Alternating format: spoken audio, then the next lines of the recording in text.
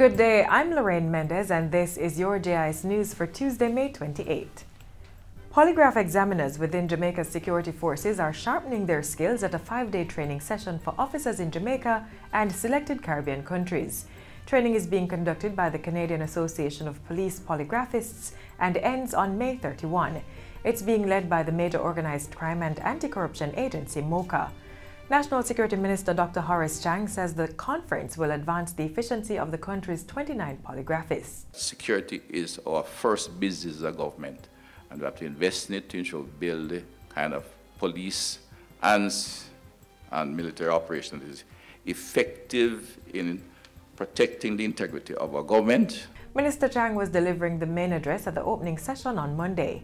He revealed that 1,147 tests using the EyeDetect technology were done for mass screening of recruits to the JCF and the Department of Correctional Services as part of the integrity screening protocols. The increased capacity within the security sector has allowed us to expand our vetting services, and this is of particular importance.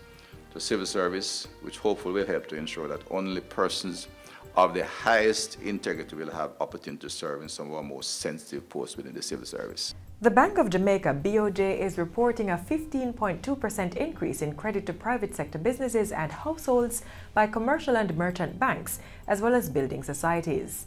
This is for the financial year ending March 2019 and reflects a 1.4% increase over the 2018 period.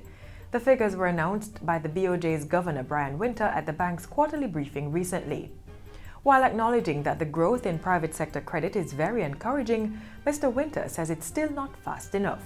Based on our estimates of the capacity of the Jamaican economy for growth, faster growth is possible without causing inflation to rise above the inflation target. The central bank governor says over $12 billion will be added to the financial system as a result of the lowering of deposit taking institutions' cash reserve requirements by two percentage points. This reduction takes effect on June 3 and follows a 3% lowering in March. This second reduction in the cash reserve requirement will increase liquidity in the financial system by a further $12.3 billion, thereby supporting the provision of more credit to businesses and households at lower rates, and on better terms. Jamaicans are set to benefit from a new pilot program being introduced in Canada for non-seasonal agricultural workers, particularly in the meat and butcher industries. This is being implemented in rural parts of Canada to spread the benefits of immigration to the regions and to retain skilled labourers. Minister of Immigration, Refugees and Citizenship for Canada, Ahmed Hussen, tells JIS News that discussions will be held with local government officials on the integration that industry in Canada particularly is facing a 12% shortage of workers. And so that's a severe need at a time when we would like to increase our exports of meat uh, to, to, to, the world. So uh, the, the non-seasonal agricultural and agri-food and meat cutting and butcher pilot program will help address some of those gaps. Last week, 100 Jamaicans left the island for Canada to take up employment under the Seasonal Agricultural Workers Program, SOP. Minister Hussen says the program has benefited both countries. The workers that participate in it, uh, a large number of them are, are, returning workers year in, year out. So it shows that uh, uh, they enjoy the work, they benefit from it, they're able to help themselves, their families, and their communities. And we uh, we benefit from, uh, from, that, uh, from that help that, that enables our farmers to, to harvest their crops and do the, the things that they need to do to succeed. Minister of Industry, Commerce, Agriculture and Fisheries Audley Shaw is reiterating the call for more emphasis to be placed on productivity and human development by both the public and private sectors. This, he says, will stimulate growth in the economy. According to Minister Shaw, production must keep pace with the growth that's taking place in employment. A key pillar in our transformation and the solution to our low productivity output must be the correct matching of skill sets and talents within our organizations as well as the strategic and prioritized training and workers for key sectors. Minister Shaw was speaking at the recent staging of the Organization Development Transformation Conference program. Data from the Jamaica Productivity Center reveals a 1.4% increase in the productivity index for 2018. The upward movement broke the declining trend, which proceeded from 2013 to 2017. A minimum benefit of $200,000 per year is among a raft of measures outlined in the Tourism Workers' Pension Bill that's currently being debated in Parliament. The Tourism Ministry is providing $1 billion to start the pension fund, which will allow qualified workers who have met the vested five year period to benefit once the bill is passed. Details of the proposed Tourism Workers' Pension Bill were announced recently in Parliament by Portfolio Minister Edmund Bartlett. The plan will cover all workers aged 18 to 59 years in the tourism sector. This plan, Mr. Speaker, embraces everyone in the sector, whether he or she be red cap, front desk manager, craft trader, housekeeper, raftsman, or any other category of worker in the industry, including, as I said, those who are self employed.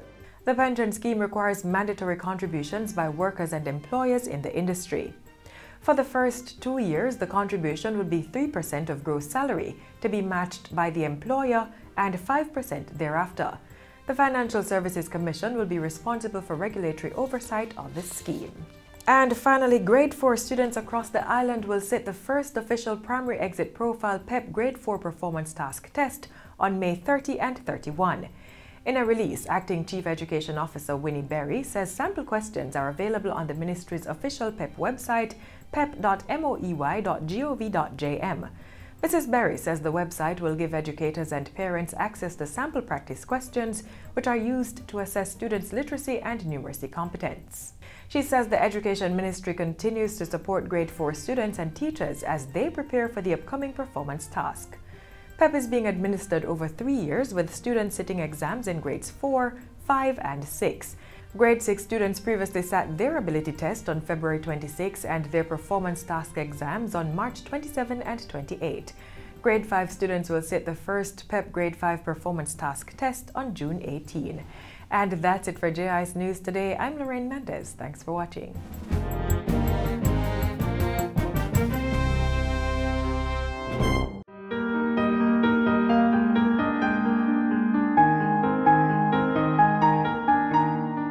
Former Prime Minister, the Most Honorable Edward Seaga has passed. He transitioned today at approximately 1 p.m. Jamaica time. Mr. Seaga was receiving treatment in the United States and had his family with him. Today marks his 89th birthday. In a release, Prime Minister Andrew Holness expressed sadness at Mr. Seaga's passing and shared that the family is grateful for the many prayers and messages of comfort and support offered by the people of Jamaica. The necessary arrangements are in place for Mr. Seaga's body to be flown back to Jamaica at the earliest possible time. He was the nation's fifth Prime Minister.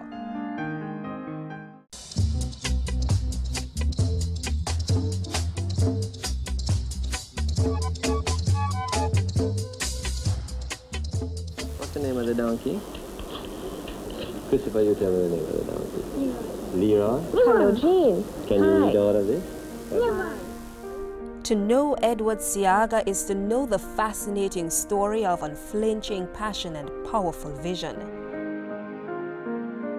Though born in the United States of America, he was bred in Jamaica not one to be confined. He made his bed in some of Kingston's most spurned inner cities, and the people there were family.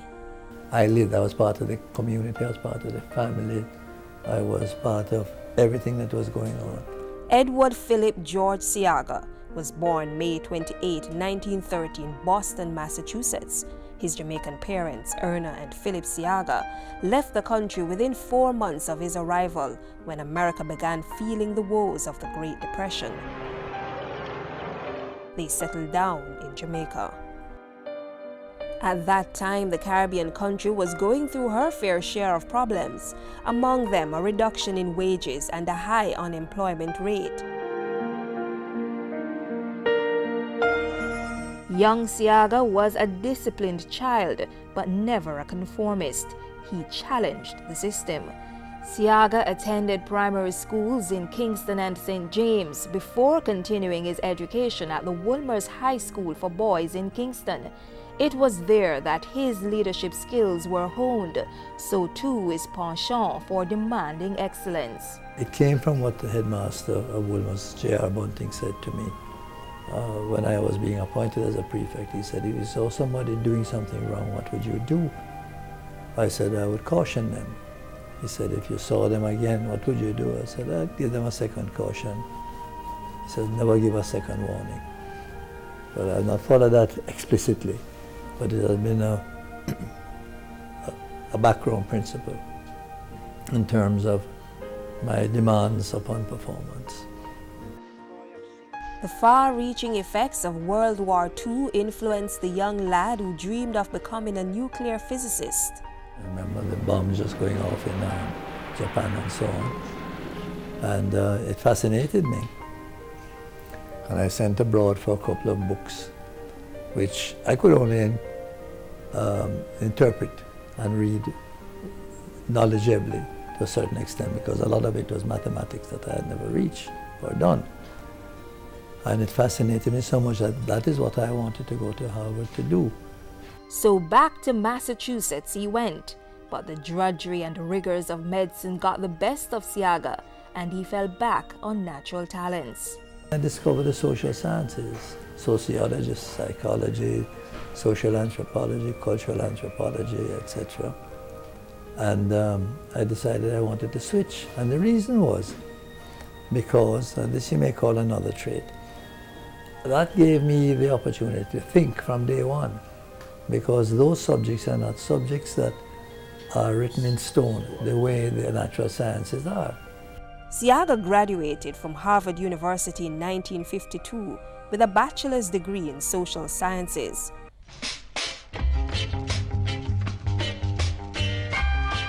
Most of his studies were geared towards understanding the thought patterns, behaviorism, and religion of the Jamaican people However, his passion was for the poorest in society, residents of the so-called inner cities. But after I had done the studies, I realized I needed a platform to be able to make known what I had learned. Because the other Jamaica, of which I speak, the other Jamaica, didn't know about this Jamaica. I crossed the bridge. With this wealth of knowledge, Edward Seaga sought to bridge the gap between the lower and middle classes. He made the first connection through music. I had a first-hand, first-hand experience of Jamaican folk music mm -hmm. and uh, the religious music as well, revival and Kumina and things like that. And of course, that to me was the heart and soul of the old Jamaican folk culture. Mm -hmm. So I extended that in the late 50s, about 10 years later, to being a producer of Jamaican music. And I was doing so just at the time when Jamaican music was, the original Jamaican music was emerging. In 1955, he supervised the recording of an album of ethnic music on the Folkways label. It was a project that had grown out of the scholarly research he'd done, but that wasn't enough. Seaga wanted to do more with music, so he founded his own label, WIRL, West Indies Recording Limited, in the late 50s. Among his first signings was the Trenchtown singing duo of Joe Higgs and Roy Wilson. WIRL scored a huge hit in 1959 with their first single, Manio, a ska single that sold 30,000 copies.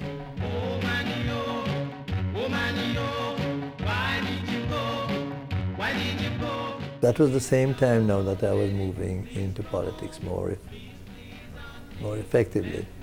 So eventually that business was sold and I was able to concentrate more fully.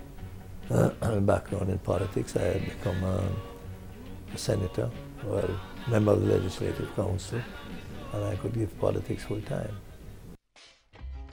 In his quest to bridge the gap between the lower and middle classes, politics became his second connection, a springboard for national transformation. He was first appointed to the Legislative Council in the upper chamber by Sir Alexander Bustamante in 1959 when he was only 29 years old. Within a year, I was the big name in the, in the Legislative Council, which was at that time full of Davis, uh, Fletcher, um, Kirkwood, you know, the um, establishment on one side. And on our side, it was Dickie Ashenheim and myself and um, Isabel um, Seaton and so on. But because of the kind of analysis that I was able to give to the material and my forceful style of speaking and passion, um, I quickly became the star of the show over there. In the independence government of 1962, he was Minister of Development and Welfare. And in, after the 1967 election, he was Minister of Finance and Planning.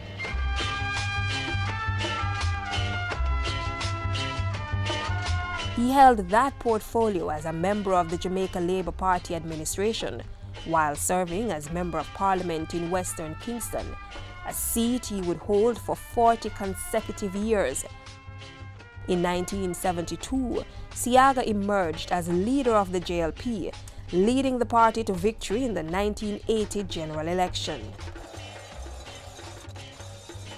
I remember driving across Kingston because we were enumerated in one constituency and had moved to live in another and had to journey across town for um, casting our votes. Um, in that year we saw the highest voter turnout in the history of Jamaica and the largest margin of political victory by a political party since universal adult suffrage in 1944. So it was a very dramatic, ideologically driven election. The JLP won 51 of the 60 seats in the House of Representatives, a landslide victory over the People's National Party, the PNP. When we win, you couldn't expect our joy. Chum, and make nice at the time never done yet. You know, pa Valentine Street at Chakamola, make nice. 1980, a 50-year-old Edward Seaga took the oath of office on his way to Jamaica House as the country's fifth prime minister. Leadership came with its opportunities. I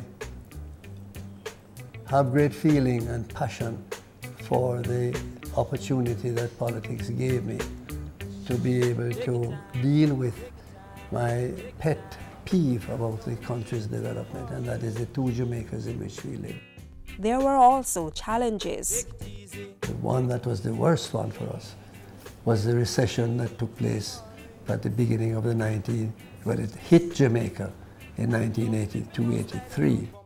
But it was a massive recession. It was at that time considered the worst global recession since the Great Depression of 1929.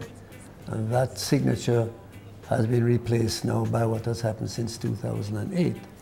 But nonetheless, that really created havoc with the economy. And later, regrets. I know that we did a lot of good things, and they're there for the record.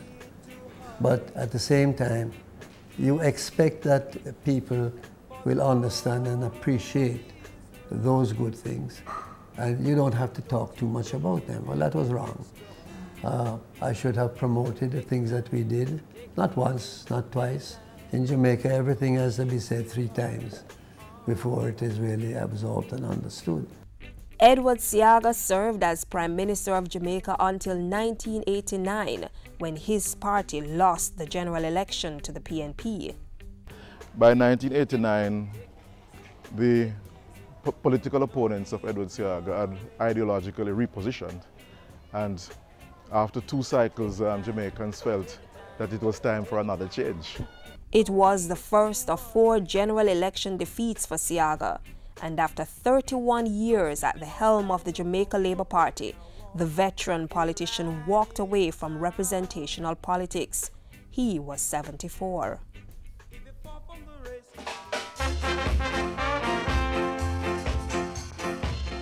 During the course of his life, Edward Seaga made a profound impact on contemporary Jamaica. This multifaceted, multi-talented pragmatist had established various institutions in the tourism, cultural, political and financial sectors. starting from as early as um, 1961 with Things Jamaican. The Jamaica Festival movement is a Seaga creation. The repatriation of Marcus Garvey and his appointment as first national hero was um, a Seaga undertaking as well. There are more recent institutions like the HEART Trust, which was created under his prime ministership. The Urban Development Corporation, UDC, Jamaica Stock Exchange, and Jamaica Unit Trust were also established by Edward Seaga. He also sought the creation of the Jamaica Mortgage Bank, Students Loan Bureau, National Development Bank, Agricultural Credit Bank, Jamaica National Investment Promotion Limited, now JAMPRO, and the Exim Bank.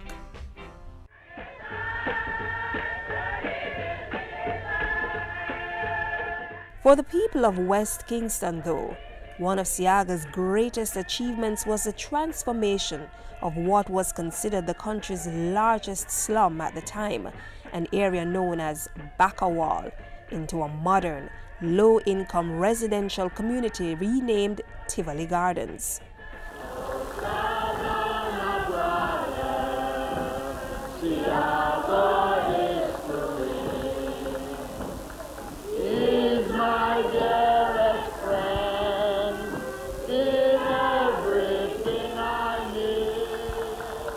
And after more than 30 years, the residents still sing his praises.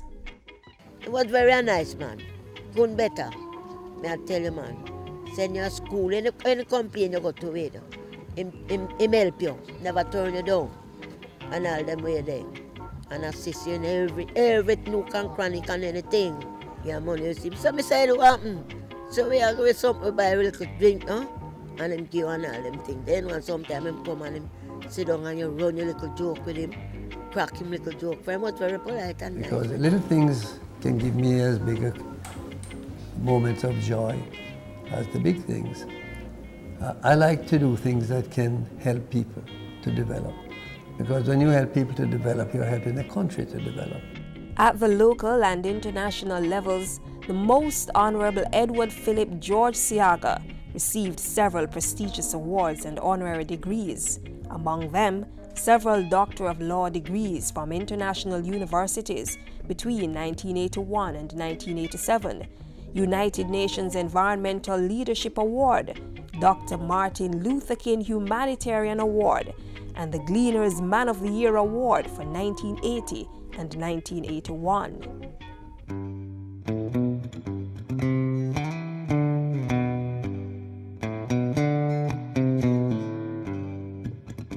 For Seaga, retirement from active politics in 2005 meant more time to devote to his other passions. He took over as president of the Tivoli Gardens Football Club and chaired the Premier League's Club Association. Seaga also accepted a post as Senior Research Fellow at the University of the West Indies, Mona, and was later named Chancellor at the University of Technology in 2010. He's very goal-oriented. A lot of people think they're successful because they're busy with activities.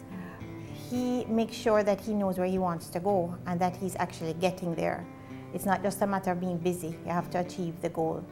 That's a big strength. And he was well beloved by the people. Kind, you know, gentle, sweet, you know. He, he knows what, what the people want, you know. If he, if he sees a problem, you know, he tries to talk, talk it out. He's a good man, a very great, great man. Every day we miss him and talk about him. We are looking at a, a, significant nation builder in the first 50 years of Jamaica's independent history and even dating a little before independence. Uh, it has been a very long political career anywhere in the English-speaking Caribbean or in, indeed across the Commonwealth.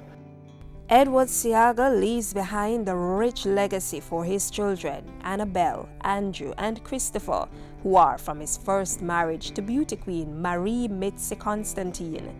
His second marriage to Carla Vendries in 1997 produced one child, Gabrielle. The two ladies that I've been married to, I must tell you, a man couldn't be more fortunate than I've been.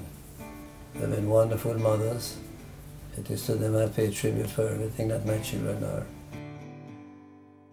And history will pay tribute to Edward Seaga, the scholar, cultural icon, statesman, nation builder.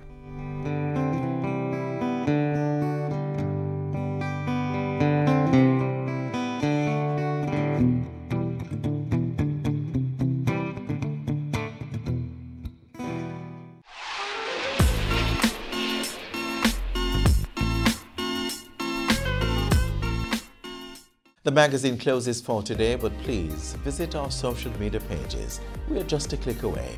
You may also download our app to be notified of our latest stories and features.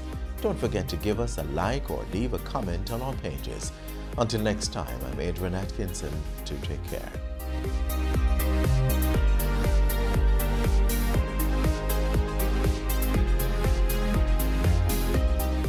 This has been a production of the Jamaica Information Service, the voice of Jamaica.